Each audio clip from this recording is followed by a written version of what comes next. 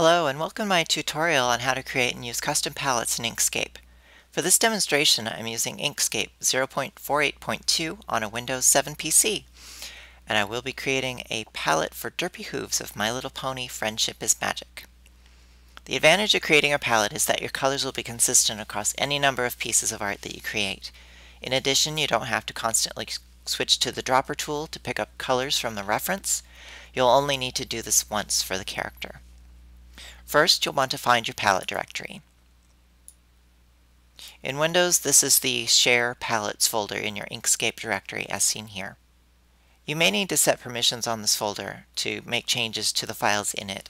I've linked to a video in the description on how to do this. I preface all of my My Little Pony palettes with MLP hyphen. So this way they show up together in the files list and also in the swatches dialog. You can access the swatches dialog by pressing Ctrl Shift W and you'll also need to see the fill and stroke dialog which is accessed by Ctrl Shift F.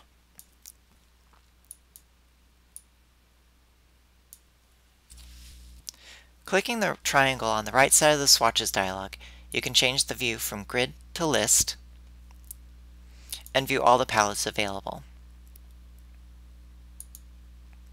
The color bar here at the bottom is also a palette dialog, and you can select a different palette there. This is useful if working on two characters at the same time. Now let's create a palettes file. Go to the palettes folder, right-click, and create a new text document. Name it what you want. And and end with the .gpl extension and click the rename yes. Open this up. The first three lines need to be this. GIMP palette, name, colon, and then the name of what you want it to show in the swatches dialog. Third line is pound, and any comments you might want to make. Starting with line 4, you'll be defining the colors of the palette. These are the numerical 0 to 255 values for red, green, and blue, followed by the color's description. Each is separated by spaces, and each color gets its own line, and the colors will appear in this order when the palette is opened. I always start mine by defining black and white. There are three other colors common to all ponies that I include in each palette. These are inside mouth, tongue, and teeth stroke, which I've taken from previous palettes. I've opened the palette for Princess Celestia that I used for the comic Celestia's Morning Ritual to show how these show up in the swatches dialog. Note that the GPL format doesn't allow for gradients or transparencies. I've made a note here to remind me of the transparencies in the magical unicorn glow. Here I've made two entries for the two ends of the color gradient in the irises. When you make pony eyes, you'll need to create a gradient.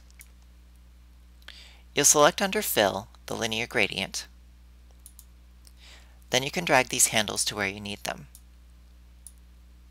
Double-clicking those handles lets you select the color for that gradient at that stop from the palette.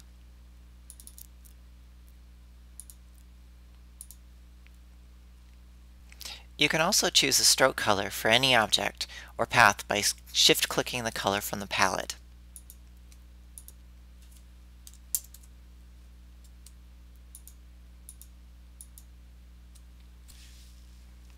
The red X None will be available at the top of all palettes.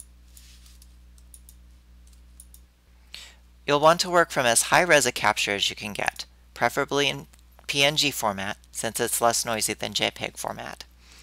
I took these from a full screen shot from the last roundup on YouTube using the snipping tool that comes with Windows 7.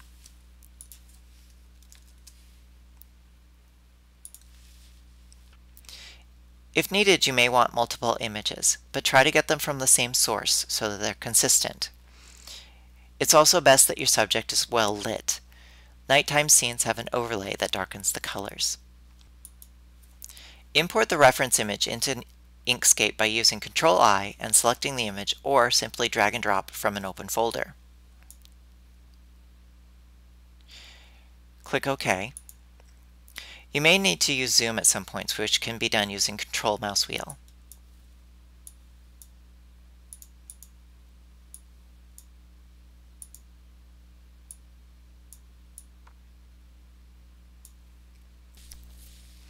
Next, select the rectangle tool here, or use F4. Drag a rectangle of any size out of the way of the character's image. This lets you not only see the color you're dealing with, but we'll let you read its RGB numbers. Now select the dropper tool here or use D. Zoom in on the area of the color with the color that you want and click and drag a circle. Make sure that the, all the area within the circle is the target color. Now your rectangle is filled with that color. And you can look in the Fill and Stroke Dialog's Fill tab and read off the R, G, and B numbers.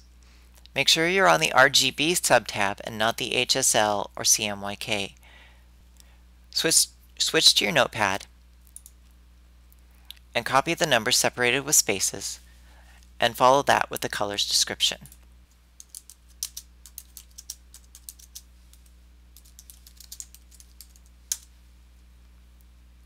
Now repeat for all the colors in the pony.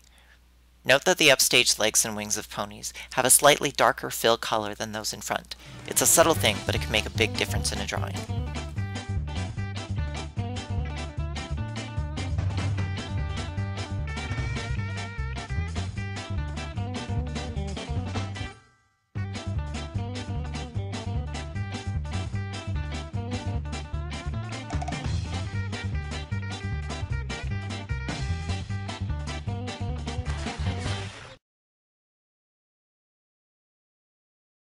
When done, make sure to save your palette file.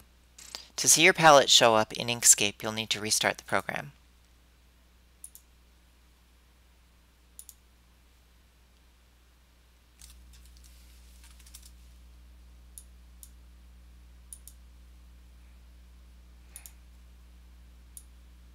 And there we have it. If this video was helpful, please give it a thumbs up. Also, please check out my work at DeviantArt and see my other videos on this channel for speed draws of my latest pieces. Thanks for watching.